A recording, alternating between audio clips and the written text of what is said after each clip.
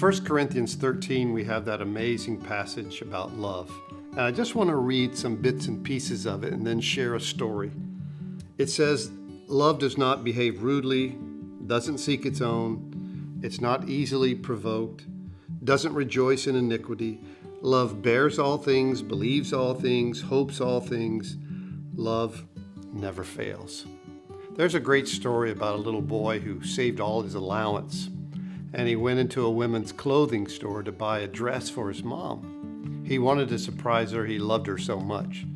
So, as he's talking to the lady about the dress, she says, Well, what size is she?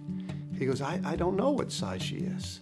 So the lady says, Well, is she tall? Is she short? Is she fat? Is she skinny? Uh, tell me something about her. And the little boy thought and he looked around. he goes, You know, she's perfect. She's, she's perfect. And so the lady helped him pick out a dress and sent home a size 8. Well, a couple days later, the lady's working in the store and the mother comes in by herself and she goes home with a size 22. The boy saw her through the eyes of love. He saw her the way that he imagined her to be. And, I think that sometimes God sees us that way, with all our imperfections, with all our sins, with all our faults.